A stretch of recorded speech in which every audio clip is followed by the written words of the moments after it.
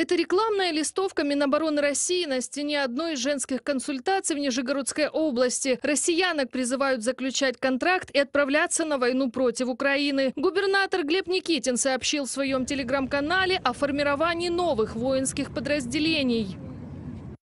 Ивлиев, Горький, Серафим Саровский – имена вновь формируемых нижегородских подразделений. Формирование проходит совместно со штабом Захара Прилепина. Подбираем грамотное профессиональное командование, ставим амбициозные задачи. Глеб Никитин, губернатор Нижегородской области РФ в Телеграм.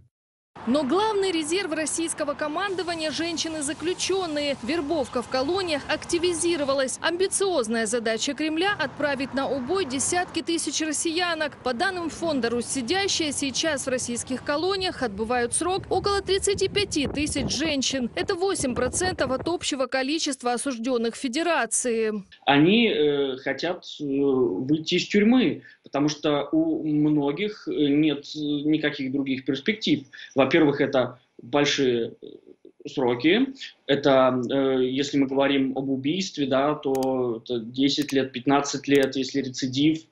Эм, и непонятно, что женщина будет делать после освобождения. От многих же отказываются их семьи.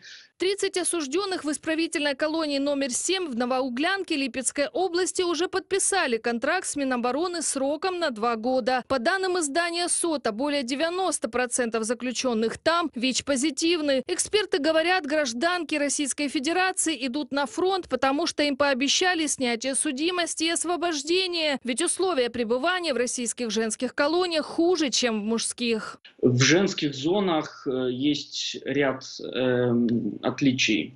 Да? То есть, во-первых, там нет так называемых запретов. Мобильные телефоны, э, это э, алкоголь, ну, в общем, все, что запрещено тюремным режимом. В женских зонах этого нет.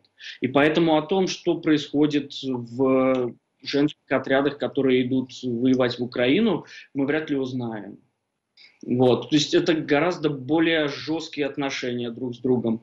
По данным Министерства обороны России, больше тысячи женщин-военнослужащих принимают участие в боевых действиях. По информации издания «Север Реалии», многие из них подвергаются физическому и психологическому насилию. Вот один из примеров. Военнослужащую медроты принуждал к сожительству командир. За непокорность наказывал. Месяц я просто жила на улице. Когда другие ночевали в палатках и домиках, я спала на земле возле дороги в маленьком лесочке, вместе с мышами-полевками. Пыталась как-то себя согреть, конечно, но когда ты замерз, ты не уснешь никогда. Могли и голодное оставить, сломать хотели в общем. Маргарита, российская военнослужащая из публикации издания «Север Реалии». Кремль отправляет на войну против Украины всех, несмотря на диагнозы, тяжесть совершенного ранее преступления и отсутствие боевой подготовки. Заключенные должны возместить потери российской армии. На войну против Украины отправляют и женщин из колоний на временно оккупированных Россией территориях. По данным фонда «Русь сидящая», в Снежном Донецкой области завербовали около 50 женщин. Виктория Смирнова для телеканала «Фридом».